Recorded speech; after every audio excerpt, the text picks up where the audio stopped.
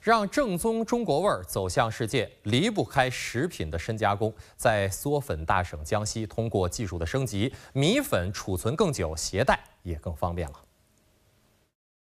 江西樟树的这家米粉企业，从原料过滤、制粉、冷冻、洗粉等环节，让颗粒饱满的大米变成封装好的粉条，再通过物流配送，新鲜的米粉从生产出来后到送到省内各大商超和餐饮店，只需要十个小时。为了解决食客们粉好吃带不走的遗憾，不少米粉企业还通过技术革新，把江西米粉做成可以长期保存、方便携带的袋装速食。目前，江西米粉的年产值已经突破百亿元，年销售超一百八十万吨，米粉出口量占到了全国出口总量的百分之三十以上，远销北美、欧洲、东南亚等三十多个国家和地区。